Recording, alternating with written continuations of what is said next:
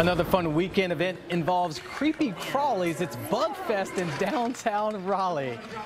Wow. Enjoy bug-filled activities both inside and outside the Museum of Natural Science tomorrow. And if you're feeling adventurous, you can try some buggy dishes. Angela, I see you're not, you don't like that? I'm not eat. Is that a cicada? I don't know. More than 35,000 people are expected to attend the event. By the way, Bug Fest was rescheduled this weekend due to Hurricane Florence. It's a great idea, but I'm not going to eat them.